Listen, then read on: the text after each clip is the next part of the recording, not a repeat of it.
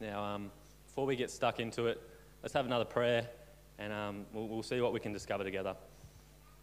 Father God, thank you that we can freely gather together and, and dig into your word. And Lord, I just ask that you pour out your Holy Spirit on us now, move on our hearts, and help us to hear from you. Uh, remove the distraction and allow us to understand uh, a message for our time and a message that's relevant that we can apply. Thank you for being present with us and thank you for what you're going to do. Amen. Now, credit for this, a lot of uh, my research has come from the book. That's a bit hard to see, maybe, but it's The Death and Rebirth of the Investigative Judgment by a fellow named Marcos Torres. He's an American pastor, but it's actually living in Perth. And this has been a book that I've been reading and trying to understand when exploring this topic. So, if, if what I share today interests you, and if you're genuinely just interested in the judgment, I highly recommend this book in terms of understanding how this is relevant for our time. Also, shout out to the Wednesday night Bible study group who helped me process these ideas as well, so you guys know who you are. But um, the, the question I really want to be exploring when looking at this is so what? When we come across this passage in Daniel chapter 8, and we're told there's a time period and then the, the sanctuary is going to be cleansed or restored. And I'm wondering why that's relevant for me. I'm wondering why that's relevant for you. What difference does it make when we, we discover what's taking place in the heavenly sanctuary? Now, at no point today am I questioning the validity of this. I'm talking about utility. So I'm, I'm fully supportive of it. I believe this is biblical. Uh, we're not going to be exploring the, the fundamentals of this doctrine, but rather how I apply it to my life. So at no point do I disagree with this. I'm asking the question how do I apply it to my life and why is it relevant for average Joe walking down the street? Why is it relevant for my, my family and my friends? This is what we're exploring today. Why? So what? And before we get to that, we need to explore this idea of relevance. What makes something relevant? When we look at the definition, relevance is the degree to which something is related or useful to what is happening or being talked about. So we get a bit of a formula there. Relevance comes from a primary idea, so a topic is being talked about. You add a secondary idea to that, and that makes a topic relevant. Now, if you're having a discussion with your friend about pizza, and then I come up to you while you're talking about pizza and I butt in and go, So I was just in South Africa recently, had a brilliant time. You're probably thinking, Josh, what are you doing, you numbskull? That's got nothing to do with what we're talking about. It's irrelevant.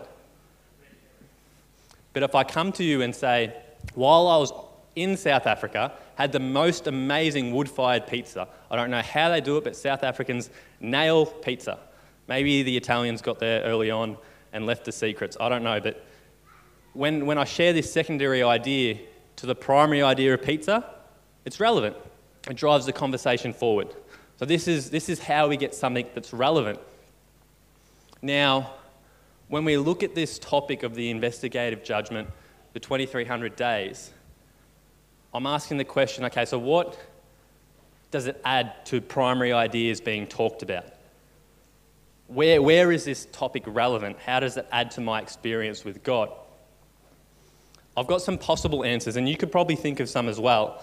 Now, this, this, it's not an exhaustive list, but it's just a few areas where, where maybe we could answer the question why this matters. And the first one is academic usefulness. This, this, this passage and this, this doctrine helps tie together the loose ends and the tension between Arminianism and Calvinism. And if you're wondering what those two words are, this already is irrelevant to you. I don't know how many blokes are sitting in the, in the pub discussing the tension between Calvinism and Arminianism. So, academic usefulness doesn't necessarily speak to a primary idea. It's useful, but it's useful to academics, it's useful to Bible students. How is that relevant for everyone else? Another way is that it provides transparency in terms of God and God's actions. Now, this is helpful for us as Bible students, but I don't know many people who are lying awake at night going, Is God transparent? This one's probably the strongest argument that I could think of personally the vindication of God's character. When we look into this, what it reveals is that God is completely, as we said, transparent, but it reveals God's love. In everything that God has done and is doing, his character, he operates from this position of love. And this is really beneficial from an emotional perspective because there's, there's a connection between our understanding of who God is and, and our emotional state. And when we misunderstand God's character, that can have a negative impact on our emotions. So this one does have some relevance. But the challenge is, is the way we articulate the investigative judgment is so complex that you have to work your way through all these charts and documents to get to a point where you go, God's character has been vindicated, and you can get lost in it. So, so while this is helpful, it's not simple. There's the benefit for the angels. The, the question comes in verse 13 how long? And we're going to explore that, but you could say that the investigative judgment provides insights for the angelic realm as to when God's going to finally resolve the problem of sin. And so you could say, well, that's a, a primary question the angelic realm is talking about. So that's relevant for them. How is that relevant for us? It gives Adventism an identity. So that maybe that's relevant for Adventists, but what about everyone else? And if this is the only reason why we have it, how useful is it really? It protects us from legalism and antinomianism. So, legalism being an attempt to save myself by my own efforts. Antinomianism is that the law doesn't count at all and I can do whatever I want. Once again, it's, it's, it's very much relevant for those who are entrenched in biblical study. Relevant maybe for us as Christians, but what about for other individuals who aren't studying the Bible? For average Joes, how do we make this relevant for everyone else? It intensifies our belief that the second coming is soon. It gives us a timeline that tells us we know we're in the last days because the final time period is, has come to a conclusion, and the next thing to happen is the second coming. And so this can give us a boost in terms of um, an emotional excitement, readiness for the second coming. But that's short lived in terms of we still have to go through the day to day life. It doesn't have a long lasting impact necessarily. And once again, if you're not asking the question, when's Jesus coming back, it's, it's, it's not relevant to the, it's not speaking into a primary idea. It reveals what Jesus has been up to. So Jesus said he was coming back, and he's not here yet. And so we can explore this and find out this whole time what has Jesus been up to in heaven? What's been taking place? But if you're not asking the question, where is Jesus and what is he doing? It's not a secondary idea that, that adds relevance to it. So we come back to this idea of relevance. How can we communicate this, this, in, this, this idea in a way that actually adds to our lives? And just to solidify, I'm not by any means undermining this at all. I am fully on board with it. We're just talking about utility. How can we make this more useful? So, essentially, what I'm talking about is, is reframing it. Now, it, it's reframing an idea so that it's beneficial to us. And this is something we actually see that Jesus did with reframing the gospel. Reframing is not re- redefining, it's different. So Jesus would reframe his message depending on who he's talking to. So in John chapter 3, the, the kingdom, he talks about being born again. But in chapter 4, to an, a different individual, the woman at the well, he says that the kingdom of God is, is, is like waters flowing, living waters. So he's reframed the message for the individual to make it relevant for them because their primary idea they're talking about is different. Are we following this so far? So, reframing is a biblical idea. Paul did this himself. To the Greeks, he became a Greek. To the Jews, he became a Jew. He doesn't redefine the message, he's recontextualizing it so that it helps, that it's beneficial. Now, I think a, a primary idea that, or to say that again, a universal primary idea that all of us have asked at some point and experienced is to do with suffering. Why suffering? And that could be relevant for you right now in the midst of this. When we look around the globe, the world is hurting. There's a whole lot of pain and suffering, and you can ask the question why. And this is not something new.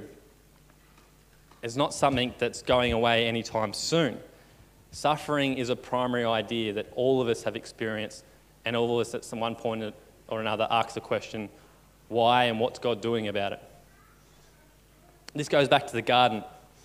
When, when God creates the garden, Adam and Eve, everything is good.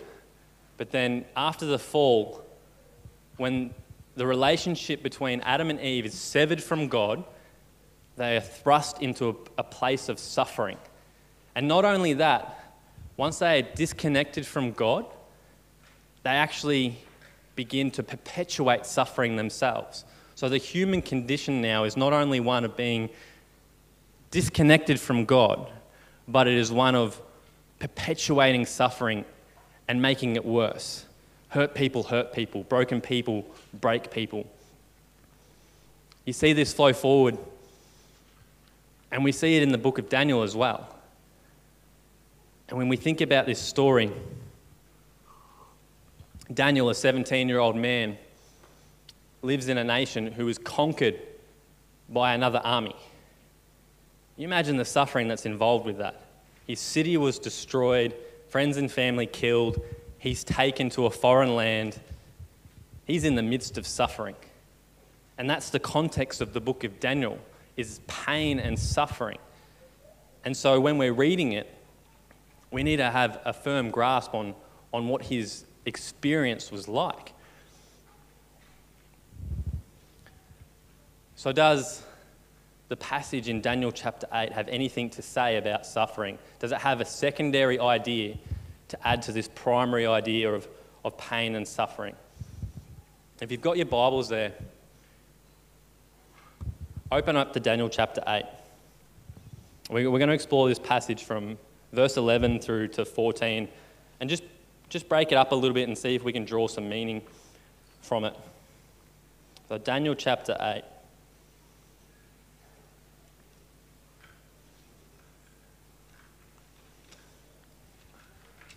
And we'll pick it up from verse, verse 11. Daniel's having a dream. Um, to, to simplify it, from verse 11, we've got the enemy of God who growing in power. We, we won't get into the finer details, but what we're focusing on here is the enemy of God. From verse 11, it became great, even as great as the prince of the host, that's referring to Christ, and the regular burnt offering was taken away from him and the place of his sanctuary was overthrown. And the host will be given over to it together with the regular burnt offering because of transgression. And it will throw truth to the ground. It will speak, it will act and prosper. Then I heard a holy one speaking, and another holy one said to the one who spoke, For how long is the vision concerning the regular burnt offering, the transgression that makes desolation, and the giving over of the sanctuary and the host to be trampled underfoot. And he said to me, For 2,300 evenings and mornings, then the sanctuary shall be restored to its rightful place. All right, so there's a few things that we need to unpack in this passage. Firstly, it's touching on the sanctuary. Now, to give you a, a really quick summary, the, the sanctuary is essentially God's blueprint for restoration. But there's two things that I want you to hold on to when we're thinking of the sanctuary. First, Exodus 25 8 said, Let them make me a sanctuary that I may dwell with them. God's desire is to be with his people. That's the first thing that the sanctuary is about. God's wanting to reverse the separation that was caused by the fall.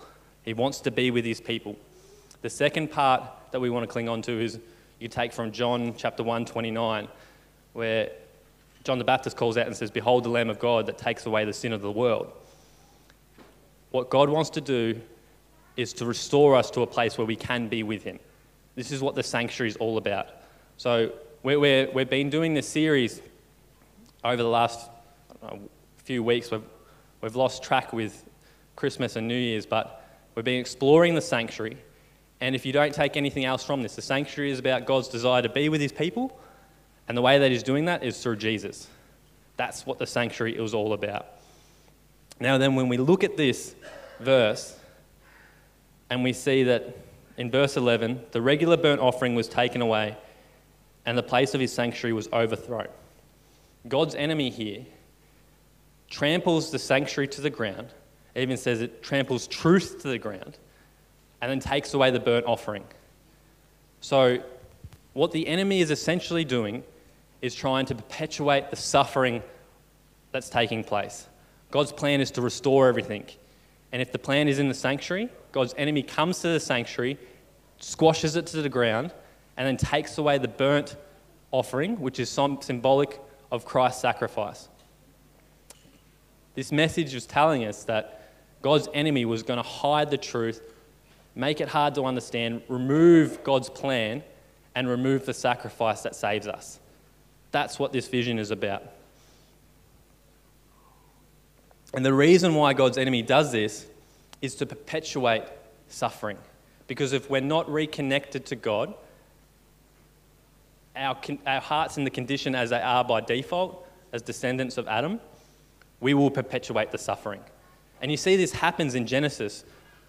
First generation, you've got Cain and Abel. And there's murder straight away. They go from disobeying God, one generation later, the suffering that, that, that flows on from that is murder and death. The human condition without God's intervention is one that perpetuates suffering. And I'm sure you can see that around you guys. I'm sure if you looked hard enough in your own heart, you can see where you've perpetuated suffering. I know I can. The question that then comes is, is, is why? Why is he casting it to the ground? He just wants to drag it out longer. But the question is asked in verse 13. Then I heard the Holy One speak, and then another Holy One said to the one who spoke, For how long is the vision concerning the regular burnt offering? How long? That's, that's a question that comes from a, a place of dif- discomfort. Uh, parents get the question from the kids, How long till we get there? Uh, employees get the question from their employees, How long till smoko? But I think it's a question that comes up from, from the pit of desperation. How long until freedom? I can, I can picture the, the prisoners in Auschwitz asking how long until the Allies get here? How long until the slaves are freed? How long until injustice is overturned and those who are oppressed are freed? This is a question from a position of pain and suffering. How much longer will the truth about who God is and his plan to restore humanity and the earth be trampled? How long will there be lies cast against his name? How long, how much longer will people be misled in terms of how they can be restored and made whole? That's the question that's being asked here. The angelic realm is in pain as well as they look on earth. And they're asking that question God, when are you going to intervene? When is enough enough? And we're told that there would come a point in time where God would draw a line in the sand and say, Enough is enough. We're moving into the next phase of the plan. We're going to re establish the sanctuary. It says in verse 14, For 2,300 evenings and mornings, then the sanctuary shall be restored to its rightful state. Some versions would say the sanctuary would be cleansed. And while this is very much about this, this phase of judgment and, and cleansing the heavenly sanctuary, it's just as much about God restoring the truth of his plan and the truth of what Christ has done for each and every one of us. There's, there's three questions that get asked by, by psychotherapists when, when they're working with a client. One is starting with the original, original purpose of the individual. Then you move on to well, what's the problem?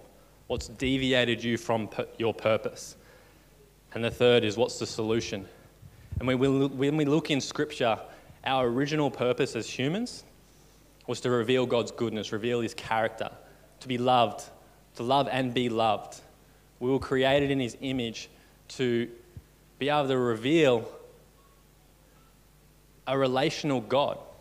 And when the fall occurred, it deviated the plan. We become perpetuators of suffering. That's the problem. We've been separated. And as long as there is separation, suffering will occur. Separation leads to suffering. But God's plan, His solution, is that restoration. That once again, His people would actually come to reflect His character. And there's this idea that we're, we're referred to as God's temple. That we collectively, as God's people, are His sanctuary, His living sanctuary. And when God initiates this plan of cleansing the sanctuary and restoring it, that's when He starts dwelling in us in a new way, in a way where His character will be seen once again, just as it was in Eden.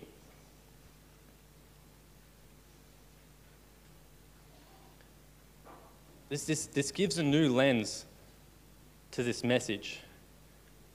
It, it, it gives us a responsibility to become, rather than individuals who cause suffering, we become individuals who are agents of reversal. I really like this statement. It comes from Nathan Brown's book, Agents of Reversal. God is reversing sin and suffering in the world. But not only is he reversing it, he's also cutting off the source. And the source at the moment is the human heart. Humans cause pain and suffering. All you got to do is look through history and you see it.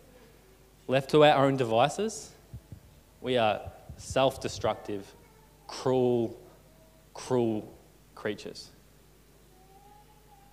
But God has the solution. And you see the solution in the sanctuary where we, we are redeemed by the blood of the Lamb. And you, you could look at three phases, three phases within the, um, the sanctuary service. First, the sinner comes, confesses their sin onto the Lamb, and they leave cleansed, free from sin. That lamb is slain, and then the blood is brought before God. After that, though, that individual becomes once again able to love like God loves. And so, first, God begins with restoring the individual, but then a collection of individuals becomes a restored community. And restored communities eventually leads to restored civilization. That's what we look forward to. But in the meantime, we're called to be part of the solution rather than part of the problem.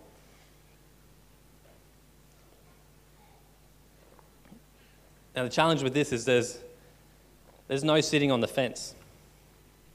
If you're not part of the solution, if you're not an agent of reversal, you're a perpetuator of pain and suffering. There's, there's no sitting on the fence with this. And it becomes so crucial then to ensure we've experienced step one and letting that, the Lamb of God, take away your sin, letting God restore your heart because without that, no amount of effort on our part will allow us to be agents of reversal. Who can bring a clean thing out of an unclean? And can a leopard change its spots? And if, if we're accustomed to being evil, as the Bible says, but perpetuators of selfishness and suffering, we can't, in and of our own strength, change ourselves.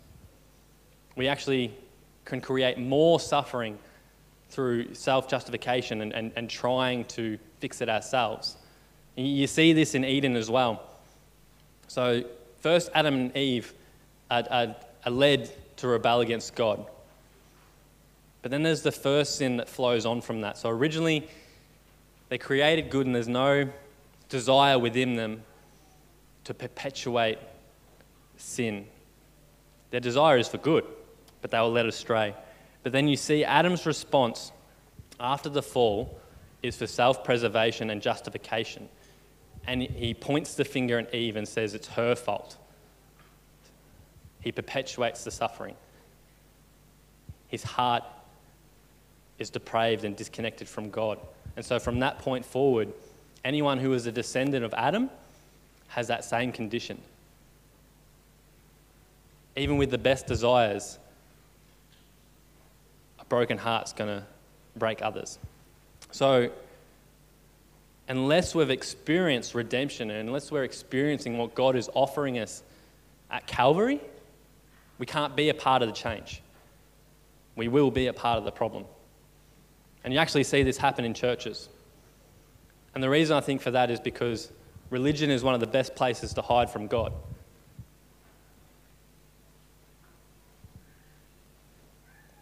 Because you can pretend like you're being righteous, you can pretend like you've got it all together. But if we haven't had that conversion experience, we will perpetuate suffering. And this is why countless individuals have come to church communities and experienced hurt. Many of us here, I'm sure you are aware of this, I'm sure you've experienced it. This is the reason why. It's a human condition. I'm a part of this as well. Hurt people hurt people. And if we're not experiencing Calvary, even if we come to church, put out our nice clothes, we will perpetuate suffering. We'll do more harm than good. And people looking for God, looking for redemption, find pain and suffering instead. And the devil runs his, rubs his hands together because the sanctuary is cast down and it's trampled. And the sacrifice is taken away. But this is not God's desire. And so we're not going to focus on that. We're going to focus on the truth, and that is Christ as our solution. We can't change our own hearts. But when Christ is lifted up, all men will be drawn to him. Behold the Lamb of God who takes away the sin of the world. Behold the Lamb of God who takes away your sin. Behold the Lamb of God who wants to give you a new heart, put his spirit within you, so you can love like he loves and become an agent of reversal. I want to be that kind of individual. I don't want to be perpetuating suffering anymore. But left to my own devices, I don't have a choice. If I don't fall on the rock and allow it to break me, eventually it'll crush me. If I don't allow God to restore me, I'm better off staying on my own. Because I could be used to do more harm than good.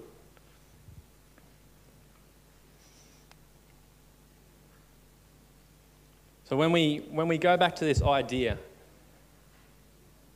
of relevance, the primary idea of suffering, we live in a world, we live in a community, we live in a state of suffering. And this message here has told us that God is doing a new thing. He's initiated this process where his people are going to be agents of change. It is happening now. And He's calling us to be a part of it, each and every one of us. And I can imagine us as a community. Imagine us when each one of us has come to the cross and experienced the transformation that comes from laying your sins on our Saviour, experiencing transformation of a heart and being able to love like God loves. Imagine what God could do with us.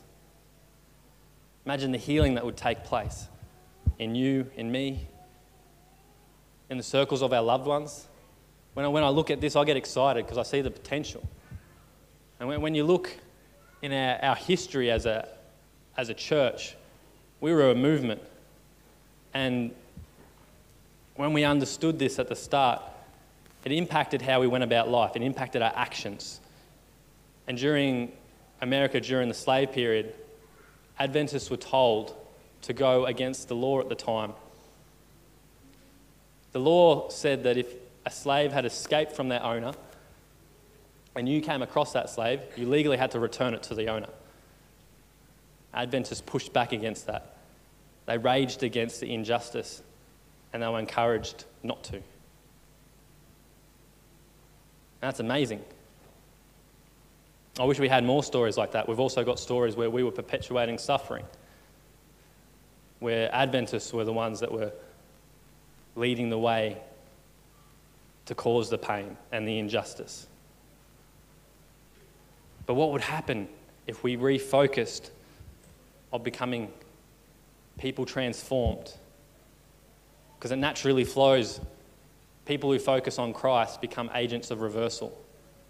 And I wonder then, what, know, what would have taken place during Nazi Germany if there was a people willing to push back and rage against it instead of going along with it? What would have happened? What is God calling us to push back against now? What are the injustices in our community? Where can we be agents of change? Or maybe in our, our workplaces, in our families. Where is God calling us to be the difference? But that flows on from that first step. And the first step is to come to Calvary. Surrender your brokenness to God and let Him crucify it. Because if your heart isn't crucified, it's going to run amok. So, the question I want to ask you guys is that seeing that God is, is doing this new thing, and he's creating essentially his, his, his soldiers, his army, agents of reversal, communities of them. Do you want to be a part of it? Do you want to be one of these agents of reversal? What's it going to take to be one? What's the next step for you? That's between you and God. But take that to God. Take that decision. We can't change our hearts ourselves.